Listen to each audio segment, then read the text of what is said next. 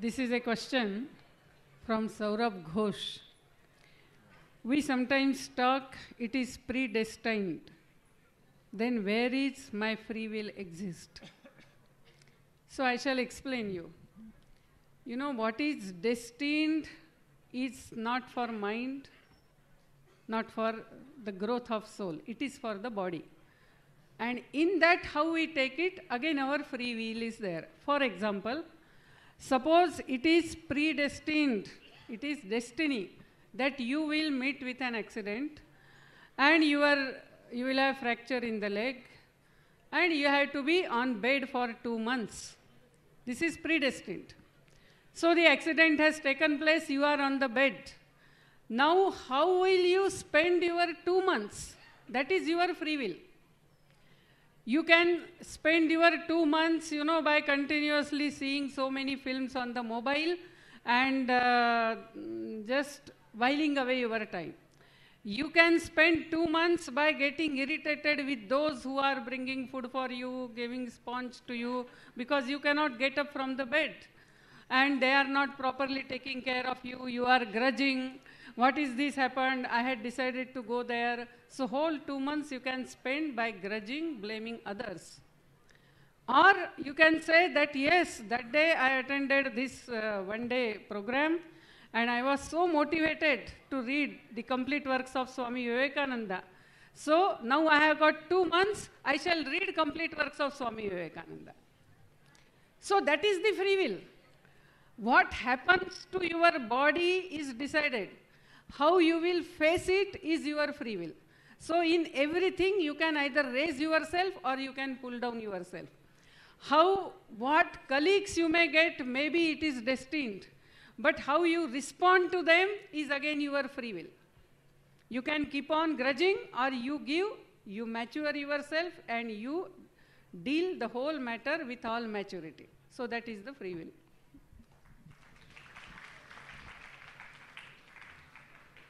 Uh, the question is, uh, I want to serve my, uh, I am in teaching profession. I want to serve nation by making youths capable.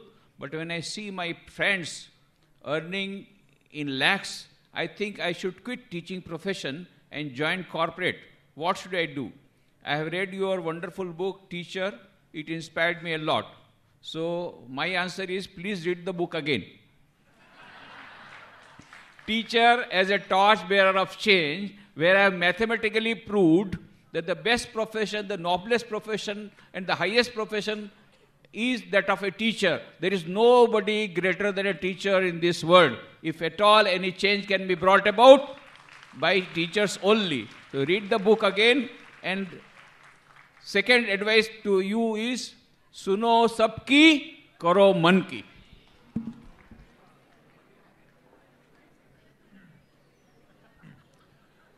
Here, somebody has asked the question what is the best method for meditation? And uh, how do I know that I have attained it? Self realization.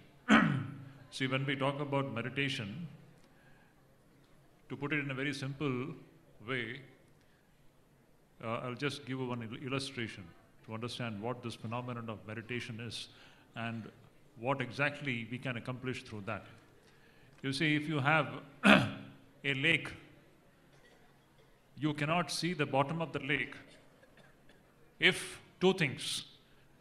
If there are a lot of waves on the surface of the lake, this is one thing. Secondly, if the lake is muddy, you won't be able to see the bottom of the lake. Is it not? The same thing is exactly happening with the human mind as long as there are waves on the mind, this is number one. And secondly, as long as our mind is muddy, it's impure. If these two things are there, you won't be able to see the bottom of your own personality. So, meditation expects that you have to handle these two situations. First of all, purification of the mind, which involves several practices it is not possible for me to go into the details of this whole thing. So, purification of the minds is the first thing. Secondly, in and through that, the practice of restraining the waves of the mind from rising, which in our Patanjali Yoga Sutra says, Yoga Chitta Vritti Nirodha.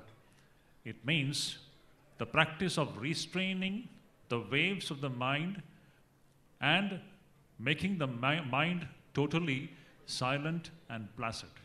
So, this is the way actually the meditation has to be practiced, to put it in very short form.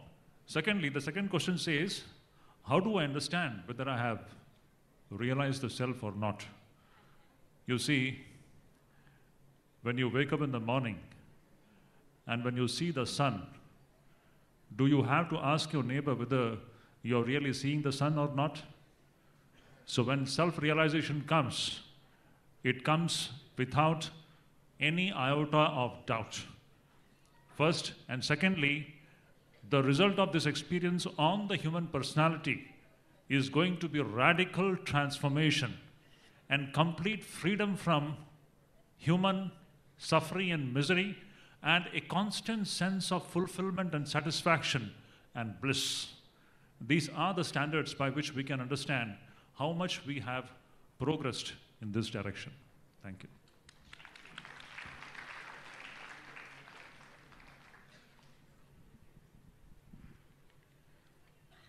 what steps can be taken on a national level so that the stress of the youngsters can be reduced for the purpose of studies? This is a question from Fardin K. Sheikh. You know, none of us sitting here have that power or authority to take the steps at national level. So, what is not in our sphere of influence? We should not think about that, then only frustration comes. So, what is in our hand? We can think about that. So, what is it that I personally can do to reduce, you know, the stress that comes for studying? So, first thing is set your goal, what you want to do. And then believe in what Swamiji says. We have all the strength within us to achieve it. Only we may have to strive. Now, when we want to do that, you know, to put all our strength to that, we must also strengthen our body, sharpen our intellect, and make our mind courageous. So, for that, the practice of asana, pranayam, a little bit of meditation, which Swamiji explained now, all this practice will be very useful. And what is to be done today, don't postpone it to the tomorrow. Whatever we postpone, that create, builds up the tension. So whatever is to be done today, means for student I am telling, do it today. So these are few things we each one of us can do at our level. Maybe some of you will reach to a stage where you can take steps at national level, then naturally you will be by that time capable enough to do that.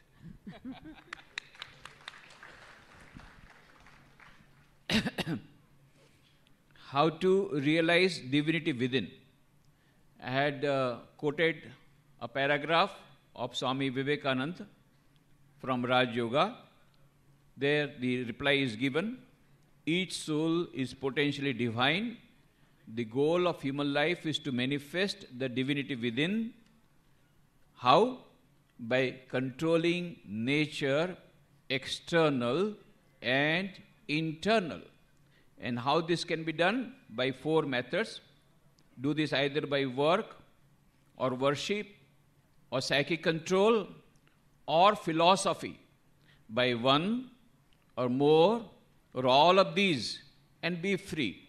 This is the whole of religion. So, there are four methods Swami Vivekananda says. Raj Yoga consists of eight steps Yama, Niyama, Asan, Pranayam, Pratyahar, Dharana, Dhyan, Samadhi. Yama consists of five Satya, Asteya, Brahmacharya, Aparigraha, Ahimsa. And Niyama are also five Shauch, Santosh, Tap, Swadhyay, Isha Pranidhan. So, in a nutshell, practicing Raj Yoga means practicing moral values ethical values, ethics, and morality in daily life, and then also practicing meditation Meditation is seventh step, and ultimately culminating in samadhi, that is deep samadhi, that is deep meditation. So that is Raj Yoga. What is Bhakti Yoga? Religion of love, where you love the highest, love the greatest. If you, Swami Vivekananda says, if you have to rob, then why not rob the whole bank rather than robbing only one person's money? Rob the whole bank. That is why, if you want to love, love the Lord. And by loving the Lord, you will never repent. कितने बार वो लड़के लोग आते हैं उसके साथ प्यार किया वो दूसरे साथ चली गए काहे को प्यार देखना चाहिए ना पहले वो तेरे से प्यार करती थी ना तेरे स्कूटर को प्यार करती थी तेरी कार को प्यार करती थी पहले से देख लेना चाहिए तो anyway Swami Vivekananda says in his book, Religion of Love, huh, very nicely says, there cannot be an infinite love between two finite real realities changing all the time and their moods also changing all the time and both going towards death. So there can be an infinite love between the infinite Atman and the infinite Paramatman. And that is religion of love. That is Bhakti Yoga. Third, is Gyan Yoga. To know who am I. Satchit Ananda. This is my nature. Who am I? Am I the body? No, today my body is aching. I am not the body because my body. Then am I the mind? No, my mind is not good today. Okay, so I am not the mind. So am I the intellect? No, my intellect is not working today. So I am not the intellect. Then am I the ego? No, my ego is very strong. I will tell you what how, how it will be done. So I am not the ego. Then who am I? I am beyond body, mind, intellect, ego. Chidananda Rupa, Shivoham, Shivoham. I am that birthless, deathless, ever pure, ever blissful Atman, beyond all this intellect, mind, and body.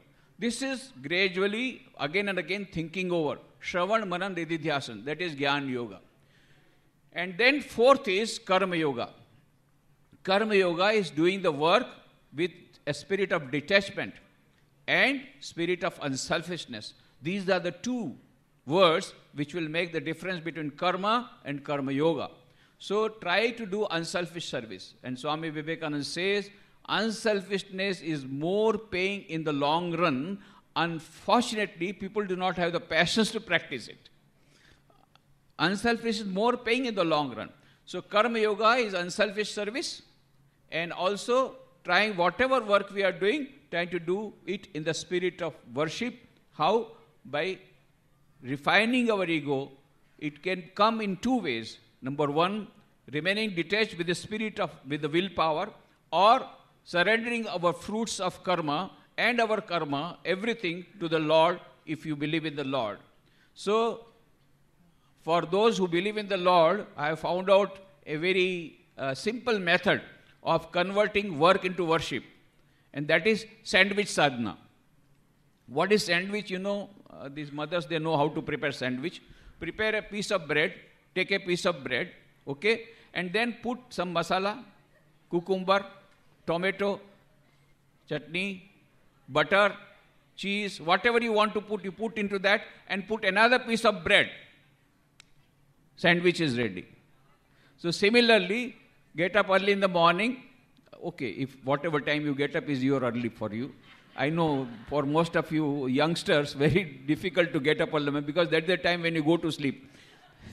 So anyway, whenever you get up, pray, Oh Lord, whatever whole day I will be doing, it is the work is dedicated unto you, and the fruits also dedicated unto you. This is one piece of bread. Now go on doing work whole day. At the end of the last, I'll go glide into sleep. Oh Lord, whatever I have done for the whole day, I dedicate unto you, and the fruits also dedicate unto you. That is second piece of bread. And that is sandwich is ready. So start with the prayer, whole day working, and then last, again prayer, that is one sandwich. Now you can make small sandwich also. Before while going to office, oh Lord, whatever I will do in the office, I will try to do good only. Not uh, not bribing and all that that does not come under karma yoga so whatever work i will do at every dedicated to you and the fruits dedicated to you and after coming back from the office oh lord whatever done in the office dedicated to you the fruits dedicated to you these are small sandwiches also you can make, prepare with this sandwich sadhana you can convert work into worship and try to make it as unselfish as possible. This I have told nut, nutshell. I have shown you the trailer. Now you go through the whole film. Raj Yoga, Bhakti Yoga, Gyan Yoga, Karma Yoga. These are all the books written by Swami Vivekananda. You will get detailed information there, and the books are available in the bookshop outside, or you can go to Ramakrishna Math Khar and get all the books. But, and also, if you really want to study more Vivekananda, it is also there in the part of the complete works of Swami Vivekananda. Well, that will be more profitable because if you, com- if you uh, just try to purchase all these four books and some other books, then by that time, in, within that budget, you can purchase the whole nine volumes of complete works of Swami Vivekananda and then go on through all these yogas, letters, and lectures and all that. But anyway, I have given you the, again, I am telling you how to manifest the divinity within by practicing four yogas. You can do any one yoga, but Swami Vivekananda says better to combine all the four yogas, and that is how the monks of Ramakrishna order, how do they do? How the devotees they do? Early morning we have meditation, that is Raj Yoga. Then we have Mangalarti, that is Bhakti Yoga. Then we have also reading from Gita, chanting Gita slokas, that is also Gyan Yoga. Evening again we have prayer, Khandana Bhava Bandhana, that is Bhakti Yoga. Then we have meditation, that is Raj Yoga. Then we have reading from Kathamrita, the Gospel of Sri Ramakrishna, that is Gyan Yoga. And whole day working for the society, working for the Lord. Shiva Jnane Jeev Seva, trying to worship the Lord who is present in every human being. This is how we are trying to practice all the four yogas. You can find out your own method of practicing the four yogas and thus manifest the divinity within. Thank you.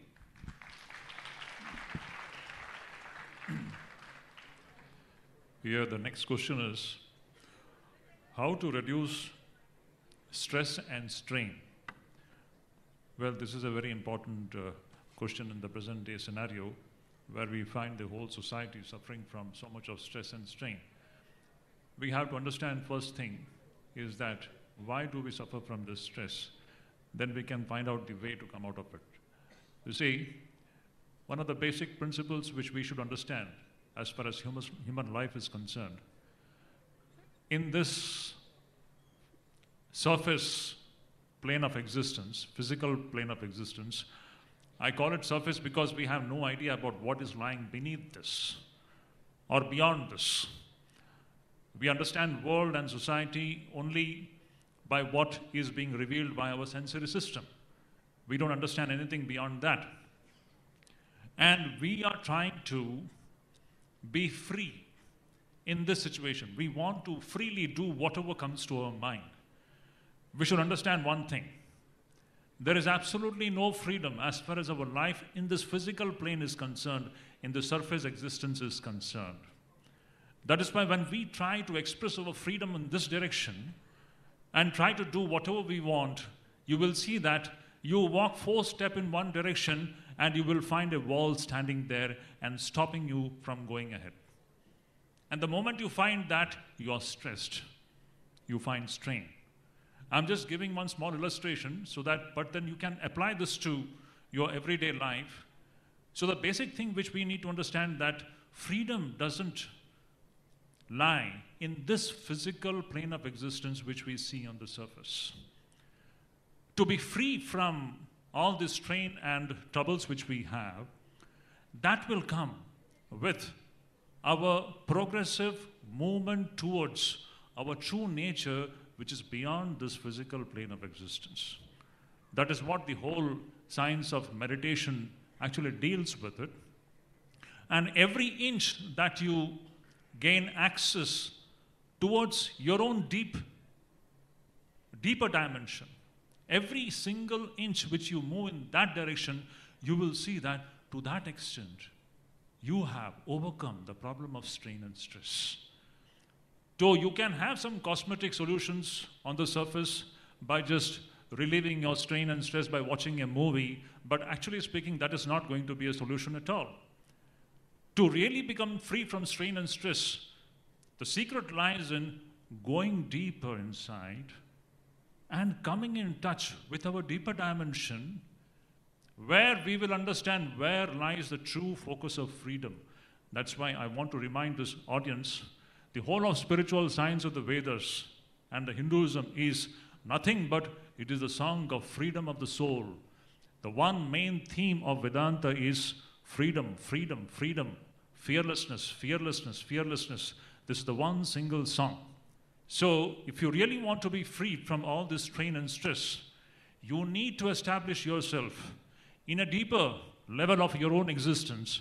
Then you understand that how foolish it was for me to think that I am free to express myself in whichever direction I want on the surface.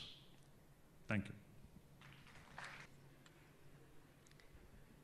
Swami Vivekananda ji के उपदेश उपदेशों द्वारा हम कैसे आने वाली पीढ़ी के पीढ़ी को अनुशासन से रख सकते हैं राधिका यादव ये प्रश्न से ऐसे लगता है कि पूछने वाले शायद अभिभावक है पेरेंट्स है।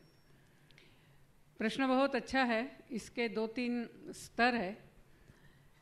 एक तो अनुशासन, जीवन मूल्य, ये सारा जो है ना, ये सिखाया नहीं जाता है, ये संक्रमित किया जाता है।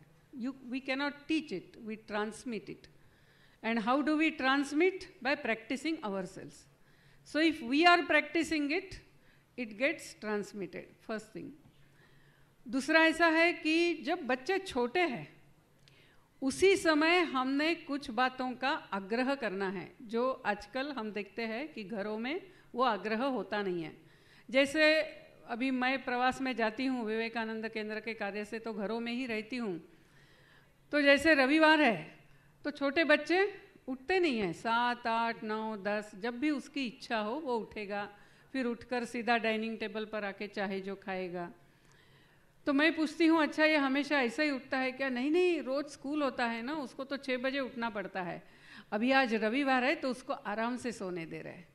इसका मतलब सवेरे उठना ये एक पनिशमेंट करके माता पिता भी सोच रहे हैं कंपल्शन सोच रहे ये एक आदत है, ऐसा नहीं सोच रहे या नहा कर ही हम खाना खाएँगे। छोटी छोटी बातें हैं हाइजीन है उसमें, बहुत सारी बातें हैं। लेकिन हम आग्रह नहीं करते हैं तो बच्चे सीखते नहीं हैं। ये दूसरी बात है। तीसरा ऐसा है कि हमने क्या एम्बियंस घर में खड़ा किया है? यानी स्वामी विवेकानंद के उपदेशों द्वारा हम बोल रहे हैं, हमारे घर में सच में बच्चों को हम स्वामी विवेकानंद से परिचय करा रहे क्या? हमारे घर में जाते ही एकदम प्रोमिनेंट प्लेस पे स्वामी विवेकानंद का चित्र रखा है क्या? हमारे घर में स्वामी विवेकानंद का साहित्य है क्या?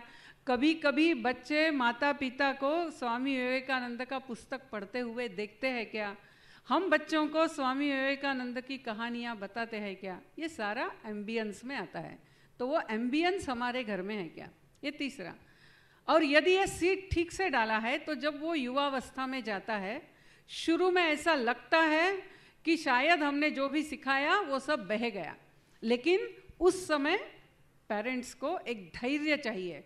क्योंकि जैसा बीज होता है ना, बीज से जब पेड़ अंकुरित होना है तो उस बीज को एक सड़ने की स्टेज होती है। यानी उसका जो बाह्य कवर होता है, वो टूटता है, वो निकल आता है। तो ऐसे ही युवावस्था में शुरू में युवा थोड़े अपने इधर उधर जाते हुए शायद हमें दिखेंगे, ए, ये सारा विवेकानंद वगैरह बस हो गया माँ। ऐसा शायद कभी आते जाते एखादा युवा बोल सकता है, लेकिन ये वो सिर्फ़ कवर खोलने की अवस्था है। माँ ने पेरेंट्स ने टीचर्स ने, बड़ों ने थोड़ा धैर्य से रहने से जो बीज डाला है, उसका पेड़ अंकुरित होता ही है। तो उस समय आत्मीयता से और उसके साथ अपना संबंध कायम बनाते हुए रखते हैं तो युवा हमसे भी अच्छे तरह से उस विचार को लेकर अनुशासन से जीवन में खड़ी होती है।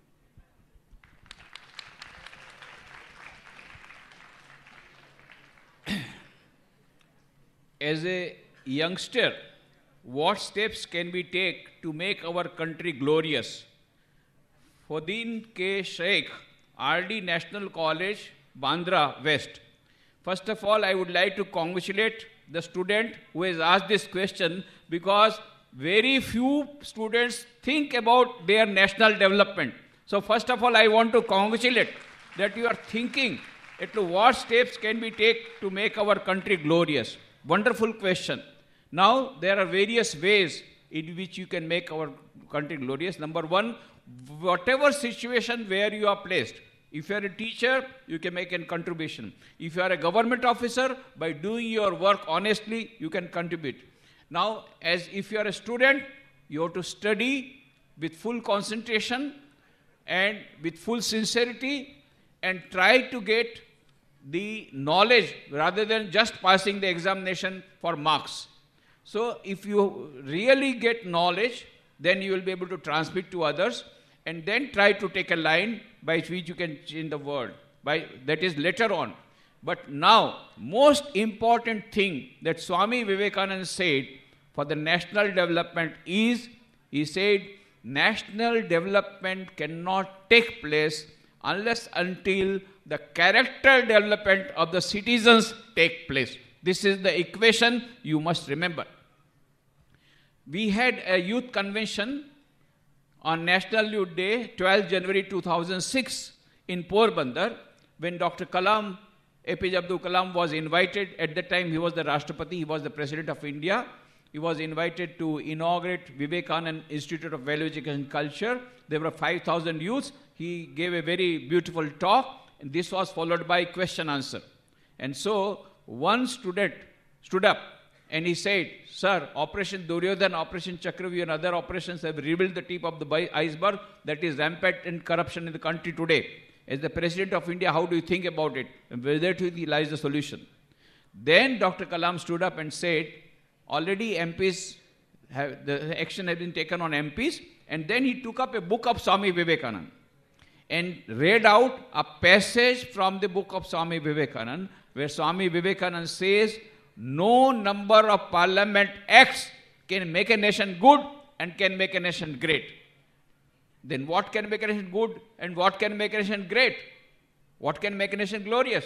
Then again he read out another passage from Swami Vivekananda book where Swami Vivekananda says, only a large number of good enlightened citizens can make a nation good, can make a nation great only a large number of good enlightened citizens. Then he also said further, and the government cannot produce good people, and the government will not produce good people. That also he told. Then who can make the good people? Only three persons can make India great. How? How? Only three persons can make your character. What are the three persons?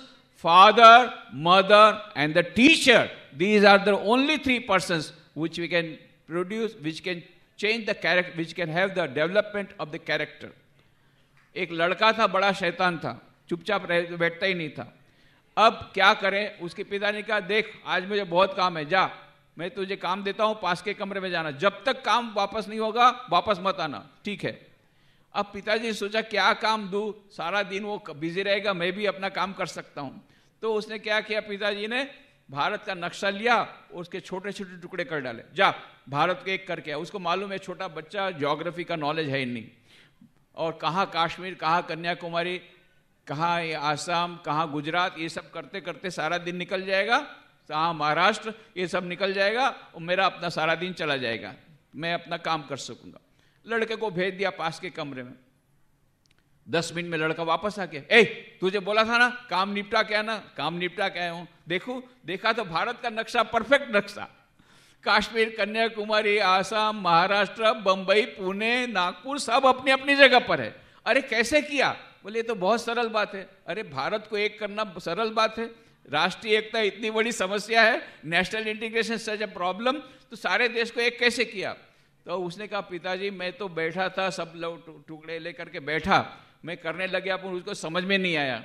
तो मैं क्या किया? मैं टुकड़ों से खेलने लग गया। खेलते खेलते देखा, मैंने वहाँ पर मनुष्य, उसके पीछे में फ़ोटो के, पीछे में एक मनुष्य की छवि है। तो मैंने मनुष्य का हाथ, पैर, सिर सिर्फ़ करके पूरे मनुष्य को चिपका करके ठीक कर दिया। तो सारा देश अपने आप ठीक हो गया। तो स्वामी विवेकानंद का मैसेज है, मनुष्य का निर्माण करो, मनुष्य के चरित्र का निर्माण करो। जब हमारे देश के प्रधानमंत्री, हमारे देश के मुख्यमंत्री अभी नए वाले हों, पुराने हों, हमारे देश के मंत्री, हमारे देश के आईएएस ऑफिसर्स हमारे देश के आईपीएस ऑफिसर्स हमारे देश के बिजनेसमैन हमारे देश के टीचर्स हमारे देश के सब लोग, वो लोग यदि उनके चरित्र का निर्माण होगा, देश का पुनर्निर्माण अपने आप हो जाएगा।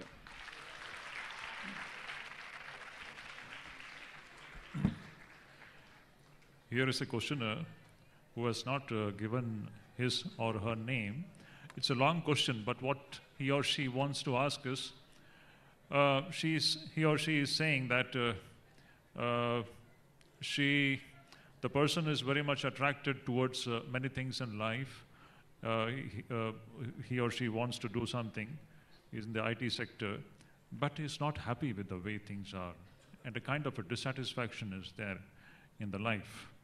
And uh, the person says that since the childhood, the person has been thinking to renounce the materialistic pleasures of life and lead a monastic life.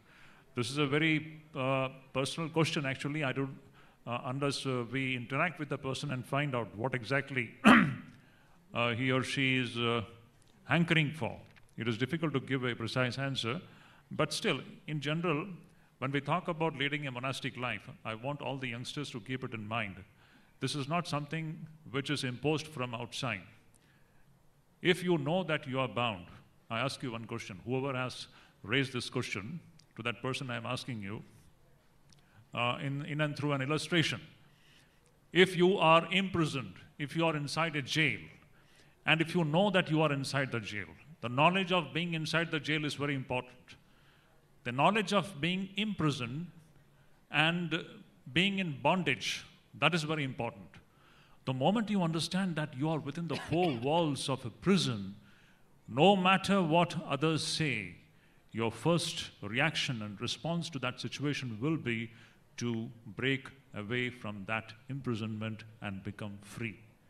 This is precisely the, the monastic frame of mind, I should say, when a person clearly understands his or her limitations at the physical plane and voluntarily and happily decides to rise above the physical pleasures of life, he or she won't look left and right. Straight away, he or she will take the decision of leaving this physical plane and attempting to live on a higher plane of awareness. That is what precisely this monastic life is. So, if you are ready for that, you won't be looking left and right. The decision is straight away taken, no matter what the society says. One small thing I say in our Vedantic scriptures, it is stated that who takes this decision of renouncing the pleasures of the world? What is the state of that mind? To our Shastras, it says in Sanskrit, the, the, the, the term used for that, the phrase which is used to describe this person is Deepta Shira Jalarashi Vat. In Sanskrit, what does this mean? Deepta Shira Jalarashi Vat. जैसे कि किसी की किसी के sir पर अगर अग्नि लगी हो if you are if you are on fire what will be your response Your first response will be to search for a body of water where you can straight away plunge into the water and extinguish the fire similar is the condition of a person who wants freedom and he is desperate and he is not bothered about what this person says or somebody else says. He is ready to take this big decision and he straight away walks into living a higher kind of a life which is dedicated to self realization. Thank you.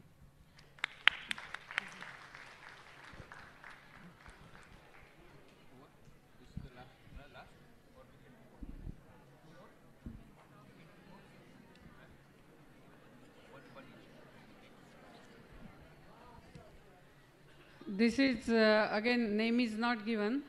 How to be motivated and happy all the time, irrespective of daily hopelessness in life. This is related to the first question that I ask. What happens to you is decided, but how you respond to it is your free will. So, whatever may happen, why you should creep and cring and cry? Your, your nature, your nature is happiness. So again it comes to meditation, little bit of practice and uh, facing the situation in life and in lighter vein. Attend such camps, you will be always happy. Yes, there is a book also, Happiness and Peace in Everyday Life. You can read that book also. I am eldest son of my present, uh, my family condition is not good.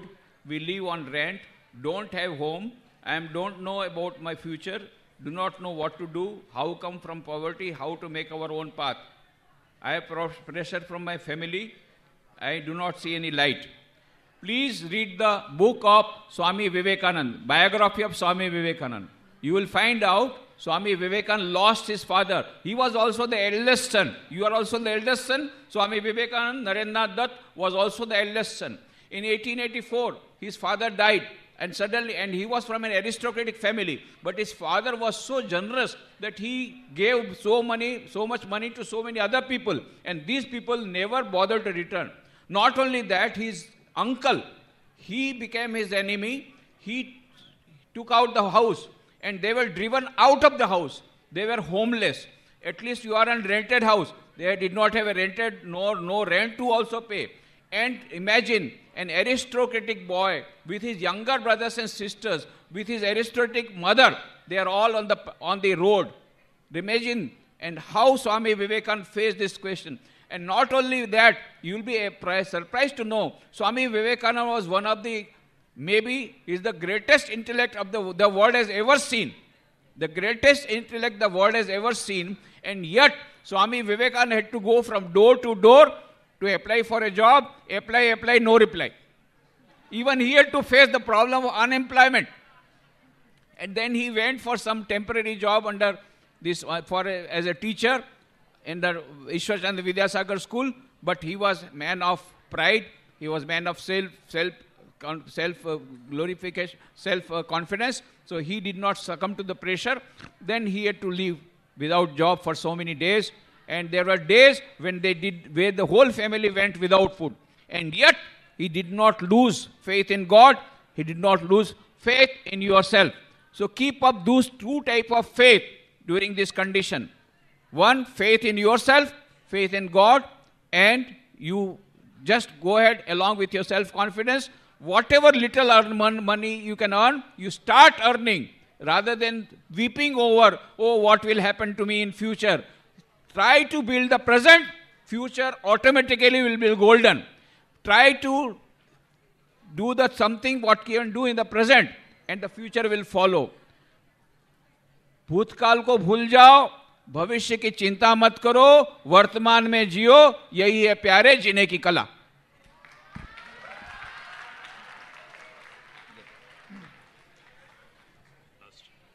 Last. So here there so, one more question. So here is the last question. So please. Yeah, there is one more question here. Somebody is asking that when the core of existence is divinity and everything emanates from that divine core, why do we have to look inside to understand this divinity? It is uh, very obvious to see what our sense organs reveal. If uh, the divinity could be understood just through our eyes and ears, then all of us would have been Brahmagyanis here. All of us would have been realized souls. But our sensory system do not have the capability to reveal that divinity. So, to understand what that divinity is, we need to go and transcend the sensory dimension of human personality, go beyond the sense organs, and even beyond the mind. And only then do we understand what this divinity is. And then, when you open your eyes, you will be able to see that whatever you are seeing through the sensory system, it is all divine. That is what the Upanishad says that everything is divine, everything is God. But to understand this, one has to first go deep within and experience that divinity in the depth of one's own personality.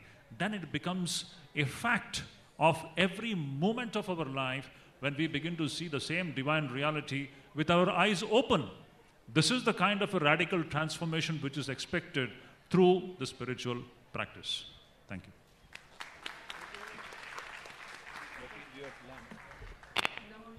Uh, thank you so much, uh, uh, Revered Swami Nikhileshwaranji Maharaj, uh, Swami Shuddhidanandji Maharaj, and uh, and uh, Miss Nivedita Bhide for uh, this enlightening uh, question and answer session.